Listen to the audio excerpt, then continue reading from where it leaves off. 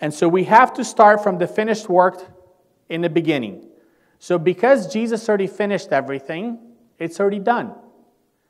So Jesus is not going and getting his stripes again every time somebody needs healing. It's already been done. So because we're living past Christ's death and resurrection, that means everything for the last 2,000 years plus, it's already finished. So Jesus already paid the price, and based on that price, we get to enjoy the benefits. So because Jesus paid the price, we get to live. Because Jesus paid the price, we are forgiven. Because Jesus paid the price, we have divine health. Because Jesus paid the price, we're blessed. Because Jesus paid the price, we're righteous. So all of these things happen because they're already finished. So Jesus already completed. Everything that God was going to do is already done. So that's why we cannot say that God's going to do this or God's going to do this. It's already done. What's happening is we're coming into alignment, into agreement, into believing what is written that it's already done. And as we agree with it, believe it, and see it before it's finished, it just starts lining up. It's starting, to, it's recalibrates. And so recently, um, we prayed uh, for a gentleman, and I saw a really cool vision. And the vision was like this so I saw the inside of that person, and you know, like how um, something is deformed, like a, a, ball or something like deflated. So I saw some of those organs and some of those things, they were like deformed.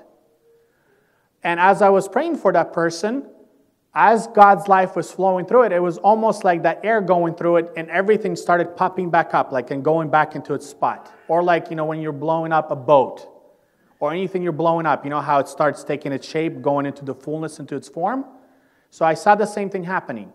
And so for me, that was kind of like an understanding or revelation. That's what's happening. So it doesn't matter what the devil did, when God's life touches that person or affects whatever organ or whatever it is that we're praying for, it starts going back into its fullness. Whatever the devil did, destroyed it, messed it up, deflated it, whatever, that life that God provides, that is in us, that we release to other people, that's what it starts doing. It starts blowing up, starts filling up and filling up those voids and restoring to its fullness. Why?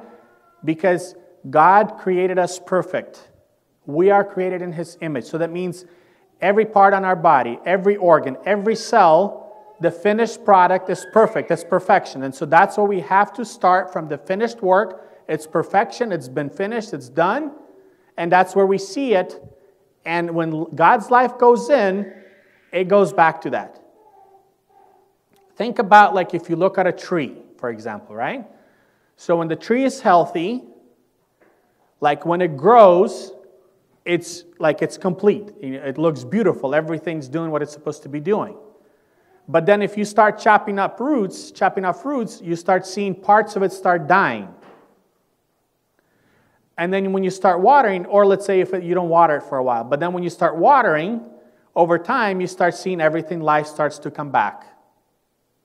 And so, just like a water is to a plant, God's life is that healing to us. And so it restores every part of it. It doesn't matter what it is, it doesn't matter what the enemy ever did, doesn't matter where the circumstances are. If we allow that life of God to flow into us, into every part of our body, it's going to go back to perfection.